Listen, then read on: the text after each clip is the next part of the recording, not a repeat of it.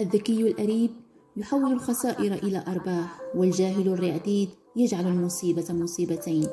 طرد الرسول صلى الله عليه وسلم من مكة فأقام في المدينة دولة ملأت سمع التاريخ وبصره. سجن أحمد بن حنبل وجلد فصار إمام السنة وحبس ابن تيمية فأخرج من حبسه علما جما.